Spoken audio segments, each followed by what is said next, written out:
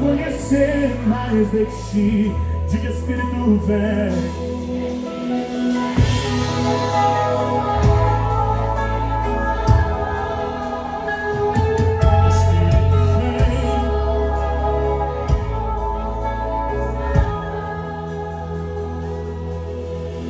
seus